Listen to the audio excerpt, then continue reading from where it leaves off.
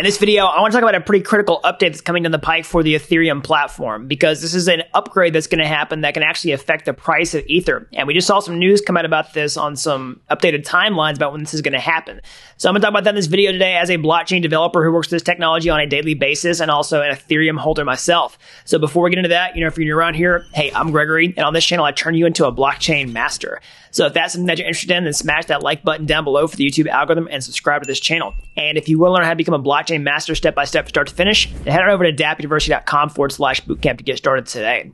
So, what is this big update that's coming down the pike for Ethereum? Okay, well, this is EIP 1559. And if you've been watching this channel uh, a lot, you've probably heard me talk about this quite a bit. This is one of the most requested topics that people want me to discuss. I'll explain what it is here in a minute for everybody that doesn't understand it. But the big picture here is we actually have an updated timeline about when this is going to come out. So, we'll talk about that here in a minute. But just in case you're brand new, like, what is EIP 1559? Well, basically, this just stands for Ethereum Improvement Proposal, which is basically just how Ethereum goes goes through an upgraded process. Okay. So don't forget, Ethereum is a blockchain that's in this transition period from Ethereum 1.0 to Ethereum 2.0, and the protocol can actually be upgraded. So right now we can have EIPs that go through this process of actually changing how the network works. So EIP 1559 isn't exactly part of the Ethereum 2.0 roadmap per se, but what it does is it changes how Ethereum works right now with miners. It changes how the Ethereum fees work. And there's a lot to how this works, but one of the biggest things people talk about is how ETH transaction fees get split up into multiple parts. A base base fee and a miner tip. And basically, the base fee can get burned whenever the transaction is created. And this could cause Ethereum to become deflationary at times of peak network activity, which could impact the price of Ether. And we'll outline that in detail here in a second what I think is going to happen to actually to the price of Ether once this goes live. So that's a pretty quick update on what EIP 5059 is. So when is this going to come out? Well, we just got a big update from Tim Beiko, who is a core contributor for the Ethereum protocol. You can see him appear regularly on the uh, all core devs meetings for Ethereum. But actually just got done watching this video over on uh, this YouTube channel, Son of a Tech. You should definitely go subscribe to that channel if you haven't already. He talks a lot about Ethereum mining in particular, and of course, EIP 1559 is a pretty relevant topic for people who are mining Ether right now. So Devin, go check out that video. But he interviews Tim Beiko, and now the updated timeline is sometime in late July to somewhere early mid August. So we could see this get pushed back a little bit. This is kind of typical for these types of upgrades for blockchain protocols, and this doesn't necessarily worry me or anything like that. I don't think this is a scam that just keeps getting pushed back further and further, further. I know some people worry about that in crypto because this is pretty common. People say, hey, we're building this amazing thing, come give us money, and then they just never deliver. I really don't think that's what's going to happen right here. I think the actual nature of this is that it's an insanely complex thing to implement, and you have to basically fix the airplane while it's flying. And this just takes longer than you think it's going to. Anybody who's built technology for real will know that it's notoriously hard to estimate how long it's going to take to, to complete something like this. And multiply that problem 10x when you're talking about blockchain technology, particularly blockchains that have real world users on them right now, securing billions and billions and billions of dollars worth of value. All right, so let's talk about what I think is actually going to happen to the price of Ether based on this update. Because again, this is something that actually affects the economics of how the Ethereum supply or Ether supply actually works works. So let's talk about what I think is going to happen to the price of Ether whenever this goes live. Okay. So basically think about it this way. You know, if I send Ether from my account to yours, let's just say that you uh, you know, send one ETH, then you're going to send your Ether amount plus, you know, a fee for that transaction. And just for example's sake, let's just say like 0.001 ETH, right? Some really small amount. This isn't the exact number, but let's just say it is. Well, this transaction fee is going to get split into two parts. So the base fee, all right, plus the miner tip. All right, so two parts, and then basically for EIP 50 and 59, this base fee can get canceled out. All right, so don't forget also whenever uh, you mine a transaction on Ethereum, whenever a bunch of transactions are included to a block, new Ether gets created on the network. That's because ETH has a hard coded block subsidy that's always created whenever new blocks are mined. And so what could happen is if there's enough transactions going into blocks and this transaction fee gets big enough, then the amount of ether that gets burned on this base fee could actually cancel out the amount of new ether that's created whenever blocks are mined or actually exceed it. So if it exceeds it, then ether could become deflationary at times of peak network activity.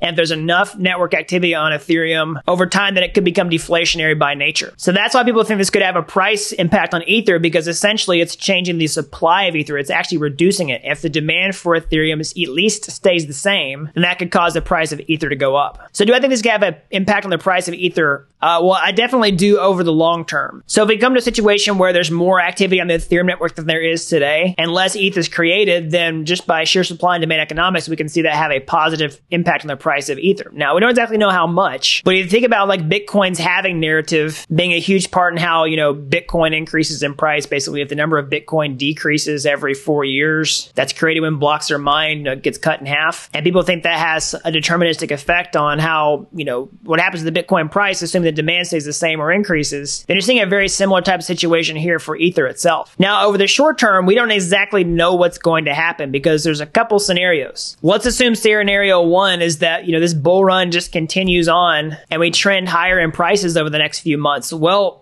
there's a lot of hype around EIP 1559 right now, and this could be a thing where people are basically buying the rumor and selling the news. So people could be accumulating Ether up to this point, and then whenever EIP 1559 actually launches, they might just, you know, exit ETH altogether and take some profits, which would, of course, you know, make the ETH price go down. And so you're seeing less of an actual impact of that upgrade itself, simply because the demand for Ether goes down at that point in time. Because if demand dries up, then it doesn't really matter whether ETH is deflationary or not. And so let's look at some other things that could affect the demand side of Ether because again, EIP 1559 affects the ETH supply, but in order to actually have a positive price impact, the demand has to at least stay the same or increase. Okay. So basically, you know, Ether at the time of recording this video is still on somewhat of a downtrend in price. So ETH would have to at least consolidate and range sideways for the demand to buy Ether as a store of value or a speculative vehicle, whatever it is. That would at least have to stay roughly the same in order for this to also have a positive impact on the price of Ether. At the time recording this video, it looks like Bitcoin is trying to reverse some of its momentum and potentially lead the market. And if that, you know, flows down into Ether and ETH is able to break out of this downtrend and increase in price, then this could similarly have a positive impact on the price of Ether if the, you know, Ether price goes up because people are trying to buy it again for a speculative investment vehicle, store value, to use in DeFi, whatever. So as far as actual utilization of the Ethereum network, you know, we do see demand for that temporarily dropping a little bit, but that doesn't, it's not something that necessarily worries me. I mean, we're back basically to the levels that we were at the beginning of this year. Um, you know, we saw explosion of activity happen in Ethereum with, you know, DeFi summer last year. So we're still uh, you know, firmly in that area. I mean, we saw a peak here happen and then kind of dip down and then come back up again. So I don't think like Ethereum demand is just going to totally drop off or anything like that. Of course, we see other activity flowing towards Binance Smart Chain, Polygon, you know, other scaling solutions for Ethereum, all that type of stuff. But we do see a temporary drop in the demand for the Ethereum network uh, compared to where we were at these all-time high cryptocurrency prices. So in order for EIP 1559 to have this price impact, then this demand at least needs to tread water here and, you know, range about this same level or for it to, you know, continue increasing, which I think it will over time, giving all the innovation and adoption that's happening on top of the Ethereum network, especially with, you know, layer two scaling solutions coming out in full force. I mean, true layer twos that actually settle the final result on the Ethereum blockchain itself. I think that's going to help, you know, generate demand for the Ethereum networks to get some of that activity back on the actual main chain itself, which will do that. So let's talk about the actual deflationary aspect of ETH because ETH doesn't have to totally become deflationary in order for this to have a positive impact on the price of Ether. As long as this is slowing the rate of new ETH produced, because it's still inflating the ETH supply at a lower rate.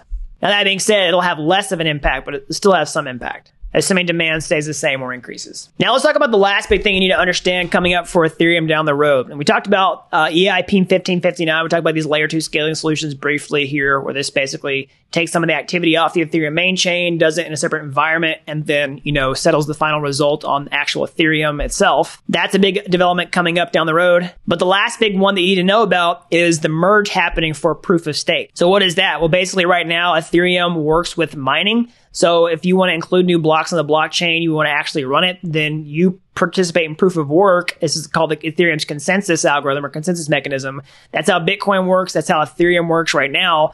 But we're moving to proof of stake on Ethereum 2.0. So uh, EIP 1559 isn't technically on the ETH 2.0 roadmap. It's kind of a separate thing altogether. It's really just an implementation for how ETH 1.0 is going to change. But for ETH 2.0, this is the long-term vision for Ethereum where we, you know, get the blockchain ready for prime time, make it way more faster, way more scalable. Proof of stake is part of that vision. And that's going to happen potentially at the end of this year or more conservatively at the beginning of 2022. So this will be a way where you can actually participate in staking the network with 32 Ether and earn a passive income reward for doing that and you'll validate new blocks and help include transactions into the blockchain itself. Because the miners are getting replaced by validators in this case, and they have to hold Ether in order to stake it to help, you know, run the network that way. And so that's going to be the next big event coming up for Ethereum after EIP 1559, after these layer twos really take off. And that's another one that I think that the market is really going to be waiting in anticipation for. So that's all I've got for today. As always, smash that like button down below for the YouTube algorithm. Subscribe to this channel if you haven't already. That really helps these videos out so the more people can learn about blockchain. You know, if you're as fascinated with this technology as I am, you want to get your hands dirty, how can you get started today? Well, you can go to my YouTube homepage. You can find my free courses there. They're like Udemy courses, but they're totally free. And if you like those and you want to take the next step, or hey, maybe you want to take a massive shortcut entirely, I can show you to become a blockchain master step by step, start to finish, over at dappuniversity.com forward slash bootcamp. All right. You don't have to be an expert to get started today. I've helped people with zero coding experience become real world blockchain developers in a matter of months. So that's all I've got. And until next time, thanks for watching Dapp University.